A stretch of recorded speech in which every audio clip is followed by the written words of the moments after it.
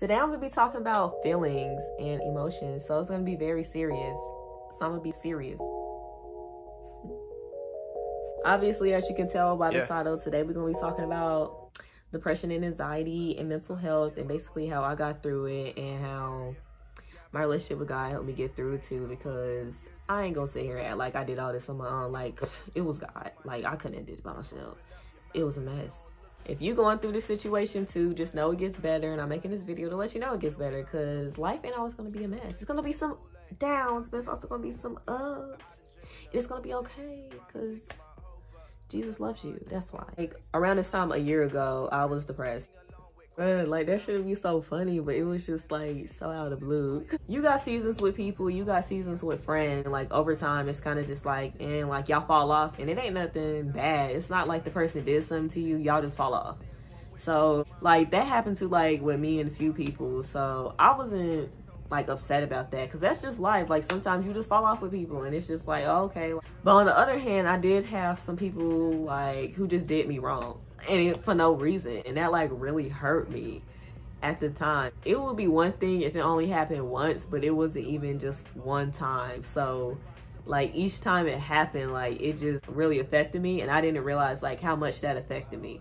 I just felt like well what i do to y'all? Like i'm over here chilling minding my business. You just want to flip the switch god dang like for what? If you want some foolishness i'm not finna cuss you out. I'm not finna get all loud and make it a whole situation because that's just not me. It just it ain't worth it. I'll be so patient and like not jump up and start like automatically like going off and cussing them out and all that stuff and just trying to like calmly be like okay like, like you pissed me off. This is why i'm finna go over here type of situation like even in the midst of that if you upsetting me i'm still being very calm. Like not getting nothing back in return. Not even getting like a really like genuine apology back in return. And that really like irritated me. It started getting really sad. Like i didn't even realize like how sad i was. And just one day i'm just sitting there i'm just like you know I done been sad for a month now. And I'm like, girl, that's depression. I had to acknowledge the fact that I was depressed. Cause like, of course you don't want to be depressed. Like who wants to be depressed? So after acknowledging the fact that I was, it was just like, dang. It's crazy. So I started trying to do things that I like to do. I like to draw, I like to paint, I like skating, I like writing. Like, so I would go out and do those same things that were like my hobbies and what usually make me happy. And as I was doing them, like I was out there doing it, but at the same time, it didn't bring me the happiness that it usually would before that. It was just really like draining. And then I started getting really frustrated because it's like I'm out here doing what I can to help myself and I'm feeling like nothing's working. It just got worse. And then I started having insomnia because of it. Because for some reason, it can lead to insomnia. So I had trouble sleeping. If I did fall asleep, I would be asleep for no more than 10 minutes and wake right back up like like I didn't just go to sleep. So one night I was just like really tired. Like I was just like emotionally tired and I was just sick of not being happy. So I was just sitting there crying and not even that low little, oh my gosh, like I'm so tired I can't sleep. Like I was like, I was ugly crying, sitting there crying. I just started praying because I'm just like, I was just like, God, like I'm tired. I don't even know what to do no more. Like I did all I could to be happy. Like, come help, please. like help me. Like this is this is ghetto. I was just sitting there and afterwards I had saw this angel and it had came into my room and it was just like standing there and I'm like you don't just be walking around and just see no angel like just standing there like what's up like that's not you, you don't see that and that was just confirmation that he was listening to me and after that like i felt that peace because i'm like okay like you got me like you sent old boy over here to come. Make sure i you know watch over me make sure i'm good. So i went to sleep. And i slept like a baby that night too like and i woke up and was like wow a decent night's sleep. If you really like pray like pour your heart out onto God and just say like I'm really struggling with this like can you help me? He will help you. And sometimes he answers us in ways that we don't realize are him answering us. So we all expect like this big voice to come and tell us like okay here's what you got to do this this and this and it doesn't always happen like that and over time I started to realize that just because he's not speaking to me like in a big voice doesn't mean he's not speaking to me using people around me, using the things happening around me. So I had to start paying attention to that too. And I started writing more. I started a journal because I didn't know what to do with my emotions. And it was kind of just like bubbling up and I needed a way to like get it out. And I just felt like I didn't have anybody to talk to. Like, of course I had my parents to talk to, but I wanted somebody my age to like share this stuff with. And I just felt like I, didn't have anybody to share it with because where they at? You want to like speak to somebody, but every sometimes people around you you're not comfortable with talking to those people so it can be like i understand like how you want to talk to somebody about something but you're not comfortable with talking to that person about what you got going on i started in june last year and from that first journal entry to the last one that i did um, which was March this year. So like I would just write every day, like write my feelings, like I feel like this or this happened today or this is ghetto because of this. I just continuously just kept on journaling and writing about how I was feeling. And as time went on, like that really that really helped me and in the midst of it it was kind of just like oh this is pointless i'm sitting here just writing in my journal but like after that it was a way for me to release my stress release my anger or whatever i had going on in my thoughts so that also helped me like get through the situation because it's just like, okay, I need to release what's happening like inside of me. Because if you keep that bubbled up, it's just going to get worse and it's to pop and it's to be ghetto. Start praying more, which is talking to God. So basically I started talking to God more. And he also like showed me that I'm still like holding on to some stuff that wasn't helping me, that was actually hurting me more and it was really uncomfortable for me like changing like the things that i did even though i didn't want to and that it was uncomfortable for me i still did it because I'm like, okay, you said this is going to help me. Obviously, you're not going to steer me wrong. He's not going to tell you to do something if it's going to hurt you. Anything he tells you is for your good, so you should listen. Even if you don't want to do it, even if it's going to hurt you in the midst of it, like, you will be better off doing what he tells you to do. I'm telling y'all, because it was, oh, y'all, like, I did not want it. I was like, I don't want to do this. I don't want to go over here. I don't want to spend so much time on social media. I like my memes. All that time that I spent pouring into all those things he was telling me to stop pouring my time into, I gave it back to myself. And when I did that, like it really helped me.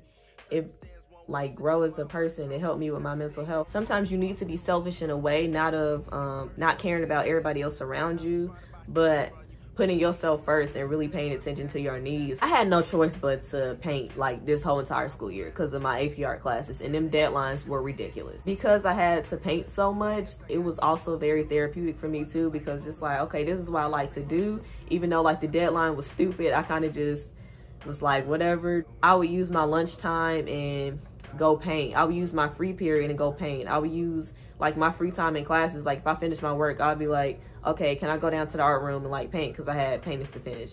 And I was going to fail if I didn't. But still, y'all understand what I'm saying. Take the time that you have free and just pour it into things that are going to be good for you. Because I would get so much anxiety, it was just like very nerve wracking. And I didn't realize like how bad it was too at the at that time, like throughout the school year. So on the outside to everybody, I always seemed like I'm all like woo woo, cheery, bubbly, regular Trinity. On the inside, I was probably panicking. Just because somebody looks happy and like they're doing good on the outside does not mean they doing good on the inside. And I can tell y'all did some experience because like people around me didn't even know like I was struggling. what was happening in my head was a totally different thing from what y'all was seeing. Check on your goofy friends. Just cause just cause they laughing and cracking jokes don't mean they okay. Cause I'm gonna tell y'all one thing about goofy people. It don't matter what we going through. We gonna crack some jokes. But look, that don't mean we okay. Check on your goofy friends. And just check on your friends in general. Cause you never know what anybody got going on as the school year went on, like, of course, there was like foolishness happening around me too. It just got to the point where I'm like, okay, is this situation dumb? Yes, I'm not gonna put no energy into it because it's stupid.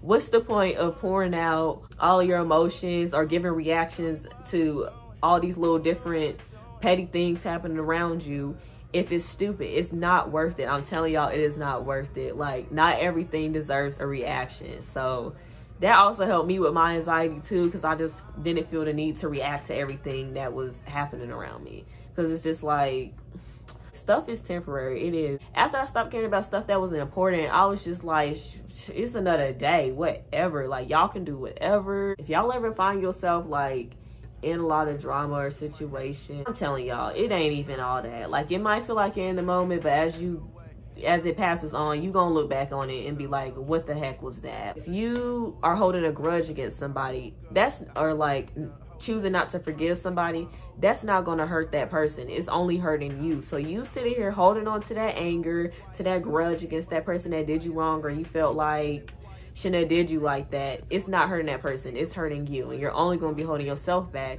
by holding on to those feelings, holding on to that anger. Let it go. Forgive that person. You go, okay, like, who cares? At the end of the day, you feel so much freer. And like afterwards, like even like in the midst of that situation during that summer, it's like these people like really hurt my feelings and they like I'm feeling some type of way and I'm still trying to like move on from it. Like after I just like let it go, it's just like, okay, like I'm just gonna forgive these people. I'm just gonna let it go and keep moving forward. I felt so much better because it was just like a burden just like lifted off of my shoulders.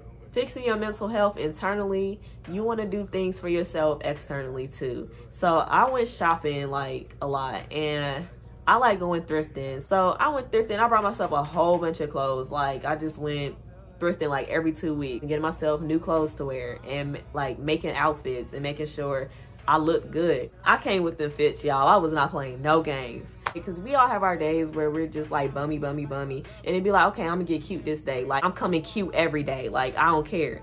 And after doing that, like it just gave me so much more confidence and I felt better about myself. Cause like I'll be like, dang girl, you looking good. And the next day, like, dang girl, you looking good again. Started doing my hair more and like changing my styles up some more too. Just to feel good, just to look presentable on the outside. So you will feel better dressed just by simply dressing nice, like consistently. So I just consistently dress nice too and put on things that you like to wear. Clothes can be expensive, so go to a cheap clothing store like Goodwill and pick out some things and make it work. And wear it, rock it, you do it.